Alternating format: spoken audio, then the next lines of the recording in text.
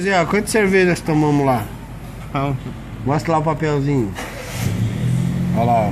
Você dizer que ele não vai. Quanto você vai pagar, Zé? Tudo aqui. Vai, vai pagar tudo, hein? É isso, mano. Olha lá, ó. Ficou bravo, homem, rapaz. Então deixa que eu pago. Empresário é outra coisa, hein? O cara é empresário, rapaz. Tem 4, 5 distribuidores de alimento. Olha só.